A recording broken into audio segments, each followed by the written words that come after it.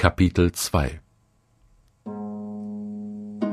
Und am dritten Tag war eine Hochzeit in Kana in Galiläa, und die Mutter Jesu war dort. Aber auch Jesus wurde samt seinen Jüngern zur Hochzeit eingeladen. Und als es an Wein mangelte, spricht die Mutter Jesu zu ihm, Sie haben keinen Wein. Jesus spricht zu ihr, Frau, was habe ich mit dir zu tun? Meine Stunde ist noch nicht gekommen. Seine Mutter spricht zu den Dienern, was er euch sagt, das tut.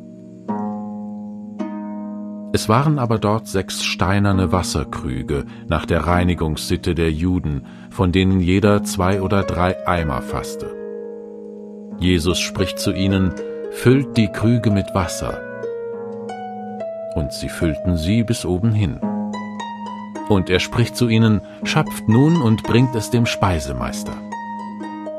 Und sie brachten es hin.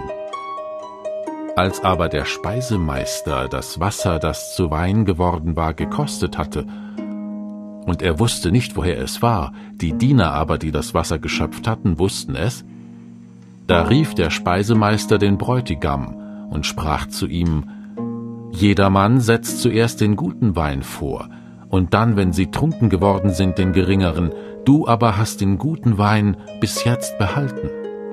Diesen Anfang der Zeichen machte Jesus in Kana in Galiläa und offenbarte seine Herrlichkeit, und seine Jünger glaubten an ihn. Danach zog er hinab nach Kapernaum, er und seine Mutter und seine Brüder und seine Jünger, und sie blieben wenige Tage dort.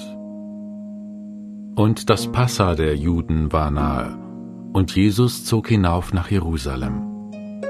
Und er fand im Tempel die Verkäufer von Rindern und Schafen und Tauben und die Wechsler, die da saßen.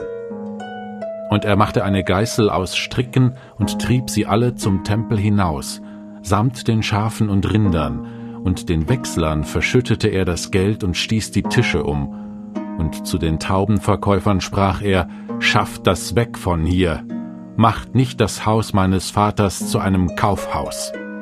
Seine Jünger dachten aber daran, dass geschrieben steht, der Eifer um dein Haus hat mich verziert. Da antworteten die Juden und sprachen zu ihm, Was für ein Zeichen zeigst du uns, dass du dies tun darfst? Jesus antwortete und sprach zu ihnen, Brecht diesen Tempel ab, und in drei Tagen will ich ihn aufrichten. Da sprachen die Juden, in 46 Jahren ist dieser Tempel erbaut worden, und du willst ihn in drei Tagen aufrichten? Er aber redete von dem Tempel seines Leibes. Als er nun aus den Toten auferstanden war, dachten seine Jünger daran, dass er ihnen dies gesagt hatte, und sie glaubten der Schrift und dem Wort, das Jesus gesprochen hatte.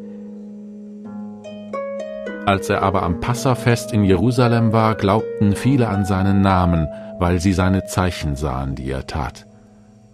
Jesus selbst aber vertraute sich ihnen nicht an, weil er alle kannte und weil er es nicht nötig hatte, dass jemand von dem Menschen Zeugnis gab, denn er wusste selbst, was im Menschen war.